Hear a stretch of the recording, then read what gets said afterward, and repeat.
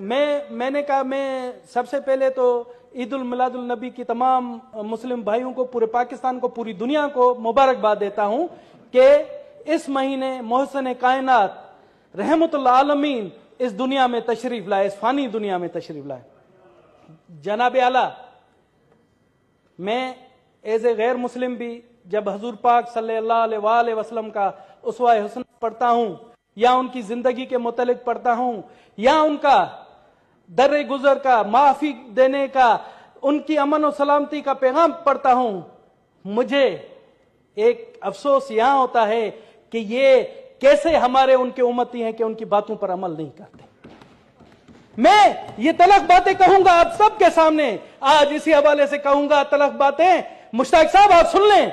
आप सुने आप सुने जो हमारे मजहबी अकाबरीन भी बैठे हुए हैं। सुने, आज हमारी कौम, हमारा मुल्क सैलाब की जद में है और हमारे मुल्क में एक कौमी आफत आई हुई है। और और मुझे देखें, मैं हैरान हूँ कि इस नबी के उम्मती एक दूसरों की टांगे खींचने में मसरूफ है और उनको भुला दिया है। अपने मुस्लिम भाइयों की भी भुला दिया है। मैं तो हैरान हूँ कि हमारे मुल्क में, हमारे मुल्क में पाकिस्तान में छियानवे परसेंट आपके मुस्लिम भाई रहते हैं। आपका कहा है वो जज्बा? मुझे तो हैरान किए हमारी अपोजिशन पर मुझे हैरान किए हमारी हुकूमत पर।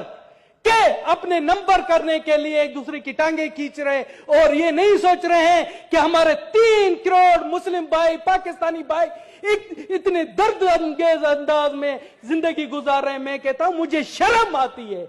मुझे शर्म आती है कि मैं मैं मुझे शर्म आती है। और ये महीना जो रबी अव्वल का महीना है, मैं कहता हूँ, मैं कहता हूँ, मैं तमाम हुकूमती बेंचेस से भी, मैं कहता हूँ, अपोजिशन बेंचेस से भी, मैं कहता हूँ हमारे कौमी रहनमा है, जो मेरे लिए तमाम काबिल इज़्ज़त है, मैं उन तमाम कौमी रहनुमाओं की इज़्ज़त करता हूँ, चाहे मोहतरम नवाज़ शरीफ साहब हो, चाहे जरदारी साहब हो, चाहे इमरान खान साहब हो, चाहे मौलाना साहब हो, फजल रहमान, मैं उनसे कहता हूँ मैं उनसे कहता हूँ कि आपको रसूल अल्लाह की कसम है कि इस मौके पर मुतहद हो जाए। मैं आपके सामने झोली फैलाता हूँ कि पाकिस्तान की तरक्की के लिए, पाकिस्तान की तरक्की के लिए आप मुतहद हो जाएँ और ये एक दूसरे से ये सियासतबाजी छोड़ दें ताकि ताकि हमारी आवाम को सकून में असर आ सके। आपका मुल्क इस्लाम के नाम पर बनाए। आप बुलंद बांग दावे करते हैं कि हम इस्लाम का किला बनाएँगे।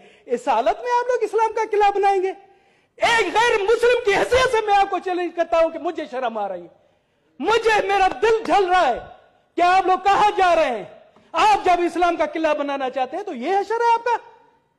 आपने देखा है, जनाब आला, मुझे सख्त अफसोस है। मैं जब जाता हूँ, मेरे बलोचिस्तान के लोग बलोचिस्तान के हवाले से मैं अभी आपसे बात करूँगा कि सैलाब में वहाँ पर तड़प रहे हैं और जहाँ